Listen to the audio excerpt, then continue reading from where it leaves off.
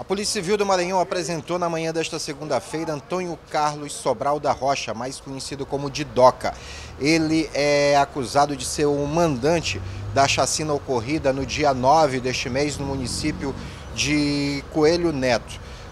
Nesse episódio, nove pessoas foram é, feridas a bala, sendo que quatro vieram a óbito. Entre as pessoas feridas, inclusive, estava uma criança.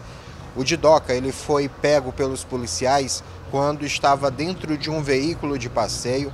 É, ele não reagiu à prisão, foi imediatamente levado para a delegacia regional e trazido para São Luís neste domingo, devido já a pessoas próximas a ele já estarem se preparando para tentar resgatá-lo de dentro da delegacia onde ele estava.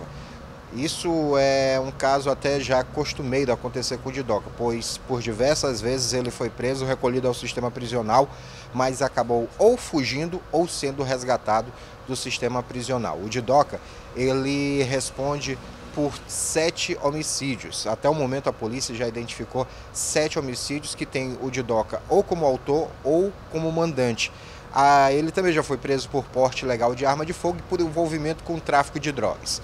E além desses seis homicídios, ele responde também já condenado por um homicídio praticado na cidade de Miranda. E responde também por tráfico de drogas na cidade de Pio 12, porte ilegal de arma na cidade de, de São Mateus.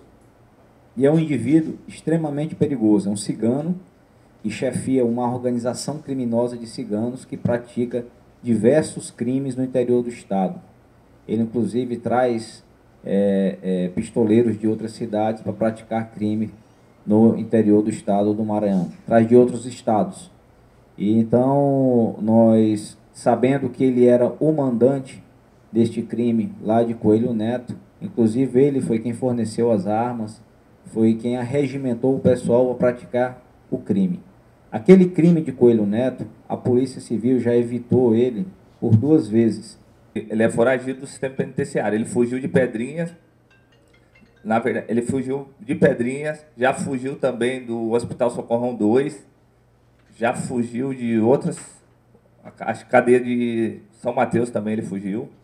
Indivíduo muito perigoso. E graças a Deus deu tudo certo, a gente conseguiu fazer a prisão dele. É, não sendo necessário usar é, de, de violência, foi tudo tranquilo. Os homicídios que o Didoca responde são esses quatro últimos ocorridos no município de Coelho Neto.